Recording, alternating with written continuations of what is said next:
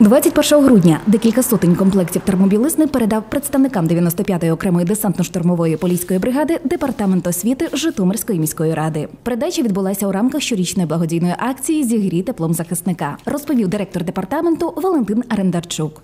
Зараз почалася вже зима, от, тому треба хлопців зігріти. Тому ми е, звернувся, як завжди, традиційно до наших закладів, е, садочків, шкіл, позашкільних закладів, а батьківських громад, щоб допомогти зібрати комплекти термобілизни. У кожному комплекті термобілизни є лист з підтримкою військових, написаний дітьми.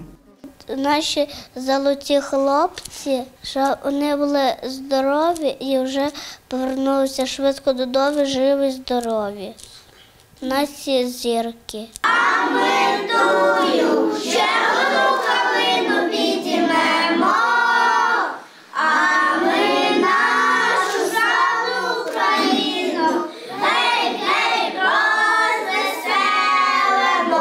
На сьогоднішній день, якщо ми можемо зробити якийсь маленький свій вклад для наших захисників, то це дуже велика справа.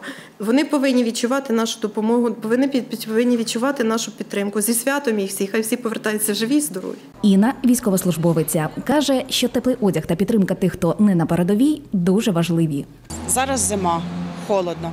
Запити великі, е, запити завжди будуть великі, бо в нас триває повномасштабна війна. Хлопці потребують тепла, потребують підтримки, потребують всього. Нас забезпечують, але е, постійно жорсткі бої, е, постійно форма втрачає свій е, вигляд і, і теплоту.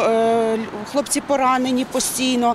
Наразі від наші військовослужбовці потребують там теплого термобілизни, шкарпеток, теплого чаю. Ну ось такого.